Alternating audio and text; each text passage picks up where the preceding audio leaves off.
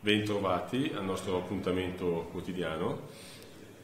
Oggi parliamo di un tema che abbiamo già toccato nei giorni scorsi, che è eh, l'emergenza sanitaria e in particolare eh, ascolteremo la testimonianza della nostra amica Roberta, infermiera in una RSA, in una casa di riposo, e eh, ci racconterà come sta vivendo questo momento e in particolare racconterà cosa questa drammatica situazione sta dicendo, sta, sta chiedendo alla sua fede.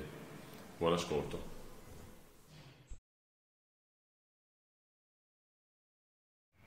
In RSA la situazione è davvero molto complessa.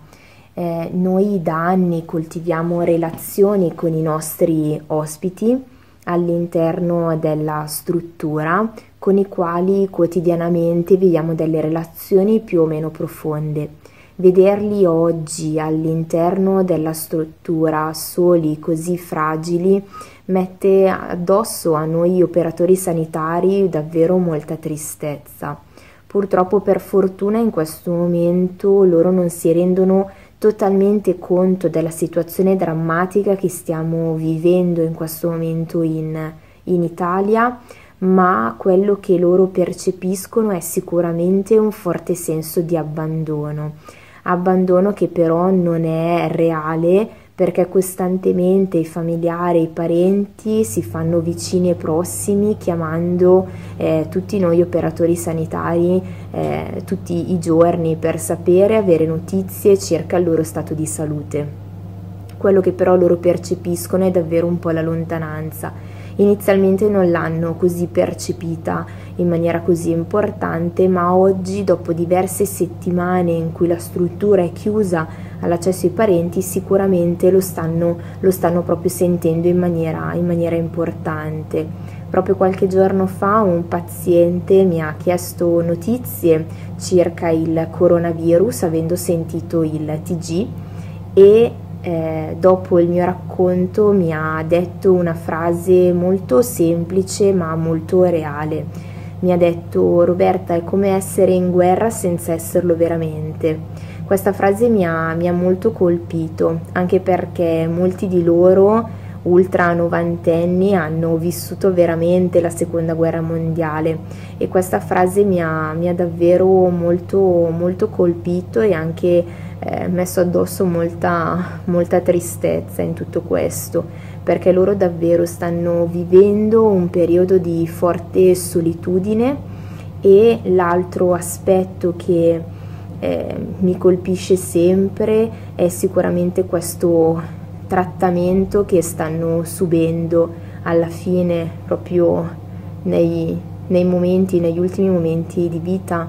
Non hanno una volta spenti, non hanno un funerale, non hanno un fiore, non hanno una carezza, non hanno un abbraccio, non hanno neanche un abito, tutto viene fatto in fretta e furia e tutto questo viene fatto lontano dai propri cari, dai propri affetti e questo davvero è, è molto molto triste. Ciò che io vivo lavorando all'interno dell'RSA è questo forte senso di impotenza.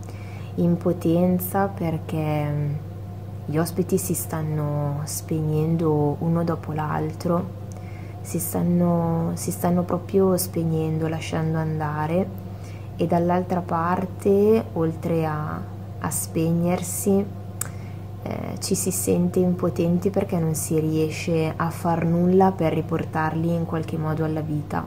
Sono talmente fragili e hanno, come dicevo prima, un forte senso di solitudine e di un forte senso di abbandono stanno vivendo che questo, questo loro senso di solitudine e di abbandono in qualche modo colpisce anche tutti noi, tutti noi operatori sanitari che siamo chiamati in prima linea.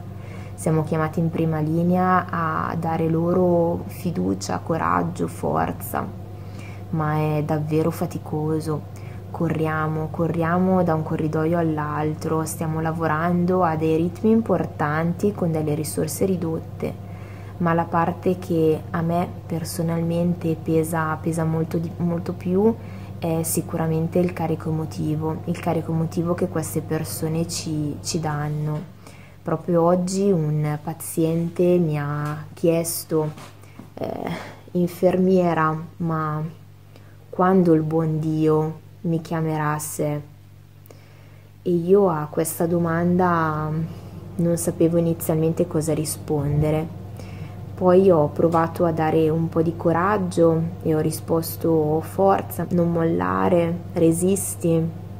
E lui in maniera molto lucida e serena mi ha chiesto, infermiera, toglimi pure l'ossigeno, perché sai, io senza ossigeno muoio soffocato e almeno vado al creatore, vado dal buon Dio. E io davanti a questa richiesta mi sono sentita mm, da una parte mm, mm, impotente perché non avevo neanche delle parole di conforto e di coraggio da, da dargli. E in quel momento mi sono solo permessa di stringere la mia mano alla sua, fargli una carezza e stare in silenzio lì vicino al suo letto.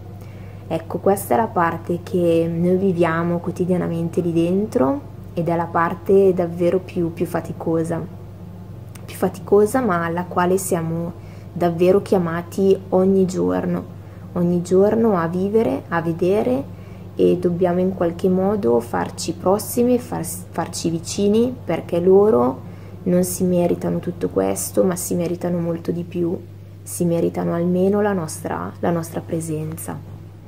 Mi sono chiesta più volte chi me lo fa fare ogni giorno di alzarmi la mattina e di andare al lavoro a vedere, a vivere e a toccare con mano tutta quella sofferenza. Mi sono interrogata anche con la mia fede e mi sono detta che forse davvero tutta questa forza me la sta dando il buon Dio il buon Dio che in questo tempo di Quaresima forse mi sta dando questa croce da portare. Questa è in questo momento la croce che sono chiamata a portare e mi sta dando dall'altra parte tutta la forza per poter davvero stare vicino a quei pazienti che stanno soffrendo, che stanno vivendo questa situazione di solitudine drammatica e, e quindi il buon Dio davvero ci sta chiamando a, a stare, ci sta chiamando a farci prossimi per tutti quei, quei pazienti che nella vita hanno dato tanto e ancora oggi sono in grado di dare e che si meritano molto di più di quello che, che, stiamo, che stiamo dando. Ringraziamo di cuore Roberta per la sua toccante testimonianza e eh, concludiamo questo breve momento una preghiera al Sacro Cuore di Gesù. Nel nome del Padre, e del Figlio e dello Spirito Santo. Amen. Proteggimi, o oh Dio, in te mi rifugio. Ho detto a Dio, sei tu il mio Signore, senza di te non ho alcun bene. Per i santi che sono sulla terra, uomini nobili, è tutto il mio amore.